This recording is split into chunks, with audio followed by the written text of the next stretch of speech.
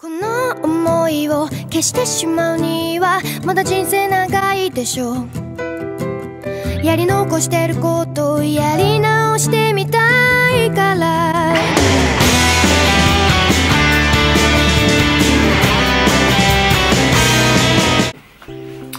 Hello! We are looking today at a very special knife with a very special steel. Well, I think so anyway. So this is a Roselli Knives Bear Claw. It's a beautiful little um, tiny fixed blade. Um, mainly a sort of a wood carving knife I would suggest. The thing about this steel is that it is in Roselli's 64 to 66 Rockwell UHC ultra high carbon Wootz steel. So a little bit of information comes with the um, knife on the back of the sheath, really really cool. Um, UHC steel originates from legendary Wootz Damascus blade steel. The outstanding cutting properties of UHC steel results from its hardness, HRC 64 to 66, and numerous biting carbides. UHC blades hold up longer than ordinary carbon steel blades, so I chucked it into the Z Knives app and all they have on it is it's got between 1.5 and 2% carbon and that's it. Bit of a mystery. So this is the factory edge of the knife. So it is currently slicing paper like a demon, very very nicely. It's a much smaller blade so it's um, probably going to have the whole thing get used in the test. It's a um, pretty much a Scandi grind with a slight micro bevel in the end. So it's a um, probably, oh let's have a look here. Tormek card, reveal the secrets.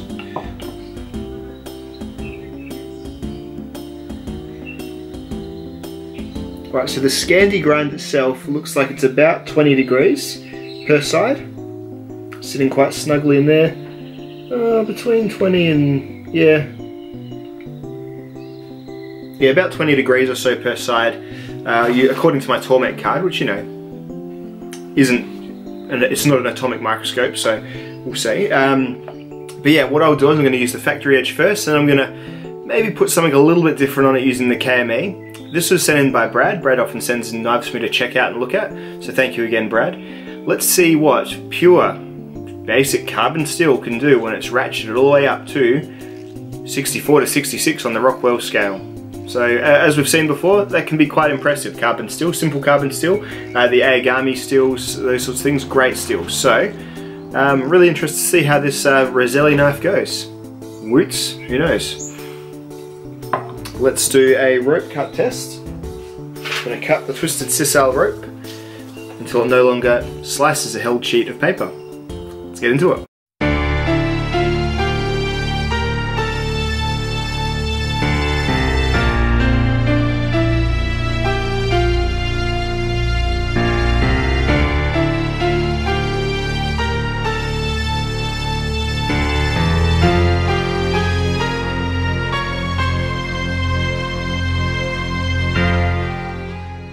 So 150 cuts with the factory edge.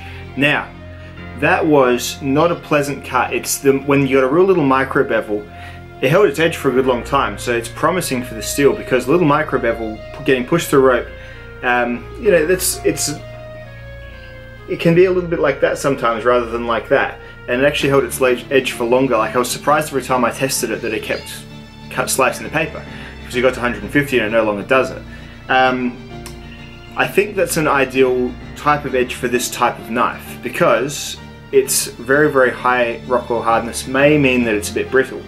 What I'm going to do, and I've got Brad's permission to mess with it just a little bit, I'm going to back the edge up just slightly. I'm not even sure what degrees it'll be just yet. Um, I'm thinking maybe if it's just 18 or 19, just to give it a little bit more of a taller bevel. I think it'll cut through the rope easier, but it may lead to a more fragile edge. So um, I'm going to be a bit modest in how I approach it. If it's, I don't think I'll be going to 17 or anything like that, um, because you know the higher Rockwell carbon steels like this could be a little bit adverse to twisting and, and you know the other things you might do when you're carving with a knife. And this is a wood carving knife, so I would wager that it had the optimum bevel for that task to begin with. But I'm going to sharpen it and see where I go and see if I can improve the numbers or not. Um, 150 with uh, this factory edge, well, Factory edges are a bit of an unknown, so I'm not too sure what to make of that. So we'll see if I can get something a bit more uniform and give that a try too. Oh, in case anyone was interested, um, I've just whacked it on the Tormek strop and that little micro bevel strop straight back to being paper slicing sharp. So, so that's pretty cool. But I'm going to do a slight resharpen, a little bit of a bevel mod and see if I can get better edge retention against rope without sacrificing too much of that durability.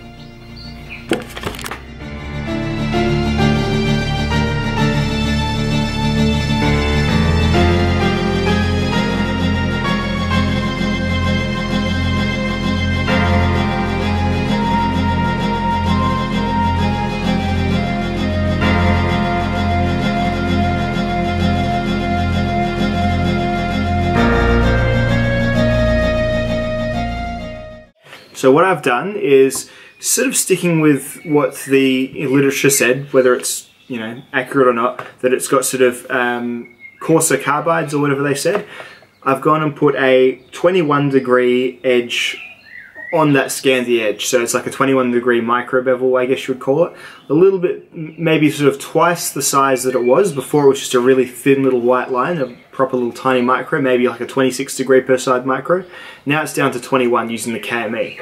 Uh, in terms of grits, I went through until 1500 and then I've gone, uh, gone and done a, a Tormek strop. So it's using the Tormek pace, which is about 3000 grit on leather. So, mm, you know, 1500 to 3000 grit, 21 degree micro bevel. So should be a bit more of an aggressive cutter, but as I said before, Roselli's initial edge is probably best for actually talking on wood as a carving knife, if that's what you're using this for. So at any rate, we're going to do the rope cut test again. Show that it is very, very sharp at the moment. We're going to cut rope until it no longer does that. Let's get to it.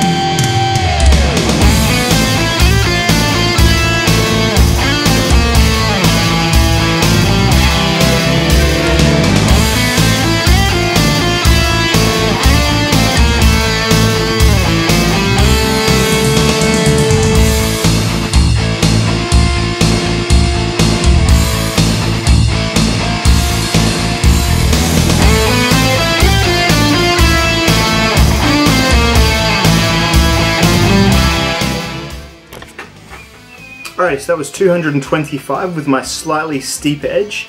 This is the kind of steel I think if I went to like 17 degrees on this um, and maybe mirrored it or something like that, it'd cut like a beast. You'd get to like 400 or 450, but it's not my knife and I'm just trying to operate as much under the intended purpose of the knife as I can. If I put a 17 degree edge on this with this with a steel this hard, 64 to 66, you're probably going to have some pretty significant rolling and chipping when the owner, when it goes back to him, tries to you know do his woodcrafting stuff. So uh, as it is now, it's as far as I'm happy to push it. Uh, 225.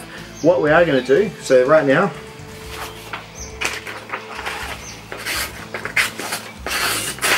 it's definitely skipping along the surface of the paper and making tear cuts. We're going to see what stropping does in, in terms of getting that edge back. Carbon steel shouldn't be a problem.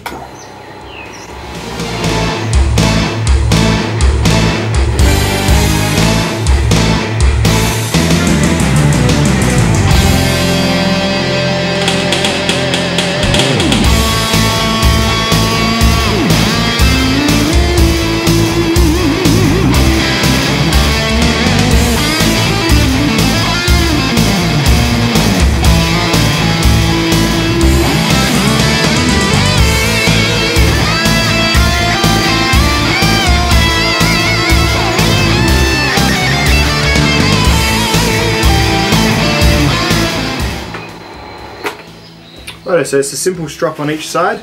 Let's just have a little look and see how it improves.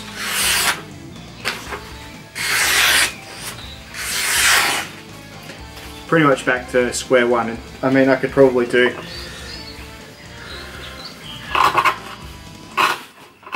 and even pushing through the rope again feels great.